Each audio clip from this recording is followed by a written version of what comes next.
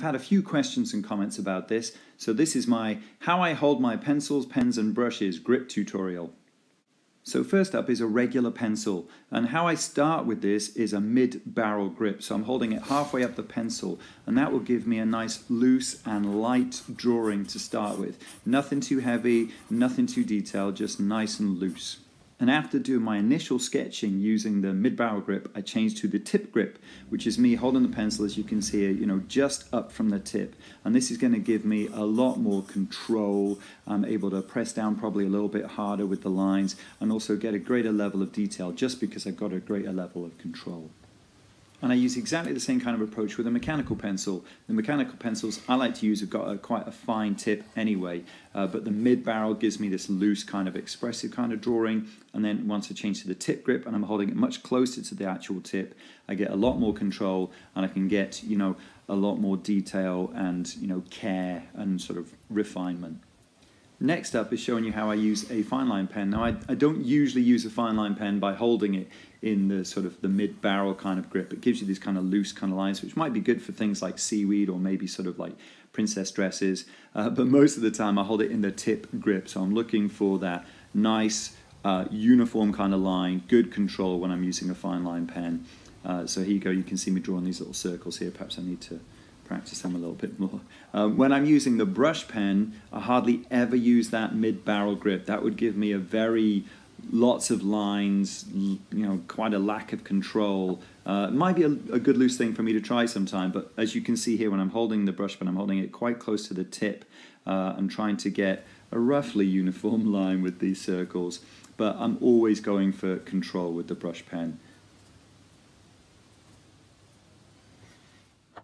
But I find it's not just about where you grip the pen, pencil, or brush, it's also about how you rest your hand. So, what I tend to do, and what I'll point out here, is the fact that I rest that big fat part of my hand there, usually on the paper, and also perhaps my small fingers, my little finger and the one right next to it. And that gives me a kind of really nice kind of brace, a kind of frame, a kind of support to allow me to do these really delicate kind of lines and very controlled lines with the pencil or a variety of media. If you notice, I haven't really picked up my hand much, and I rest rest my hand on the paper to give me that support and control to allow me to sort of pivot uh, and kind of like move my hand up, down, or left and right around that point that I'm resting on the paper. And this is perhaps much more useful when you're using the brush pen because you want to get those super fine lines and you know nice hatch lines. So here I am resting my hand on the paper and just sort of flicking my hand gently, you know, up or down or left and right. So the only part of my hand that's moving is the bit that is holding the actual brush pen tip. The rest of my hand is trying to stay pretty static, just lying on the table as I sort of like pivot around that point. And that's what gives me the control with the brush pen that a few of you have asked about, a few of you have noted. One bit of advice that I'd give that I don't particularly show here is usually when I'm doing this, I've already penciled out the design, and all of this putting your hand on the paper and you know perhaps moving your hand left and right could smudge your pencil work. So what I tend to do is when I'm using this and I'm using this kind of level of control in a picture, I'll put a piece of rough paper underneath my hand so that I can't smudge the work that's underneath, the pencil work that's underneath, or in some cases the paint, or in some cases the ink work. Um, but that's usually why I work from left to right and top to bottom, so I can't smudge stuff that hasn't dried yet.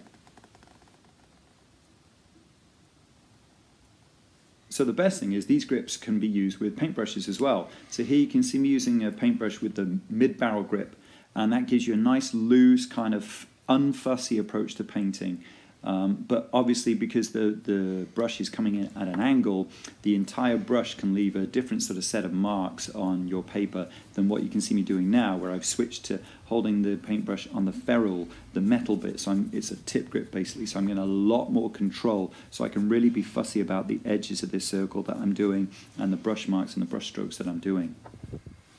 Now this grip is a bit more experimental and I've seen artists on YouTube using um, Chinese or Japanese brushes holding the brush almost at the very opposite tip as you can see I'm trying to do here and doing these lovely flower pictures with using very deliberate and very slow kind of drawn out strokes. Uh, and this is not an effect that I have really used at all yet but it's something that I do want to have a go at using. So I'm just basically doing it as a demonstration here as an idea and you know you might already be familiar with this so you could leave a comment below telling me how badly I'm doing it but it just goes to show that whatever grip you decide to use when you're um, painting, drawing, or whatever, it's whatever works for you. And this is what works for me, as I'm going to show. Now I'm moving my fingers all the way down. I'm doing the same kind of thing with the tip grip. And it just shows that it can be done pretty much exactly the same. The only difference is the amount of paint that's on the brush. But it's whatever grip works for you. And I think what you need to do is experiment in a sketchbook, on a piece of paper, or whatever, and find out the best way to get the results you want with the pencils and the pens and the brushes. So I hope this tutorial was uh, helpful to you. Um, if you've got any ideas about it or any comments, please leave them below and share and subscribe. And you might want to check out my previous video where I show you some of the tips and techniques that I demonstrated in this video in a much more kind of real world application where I'm actually doing a picture of a flower using those kind of techniques. Thanks for watching.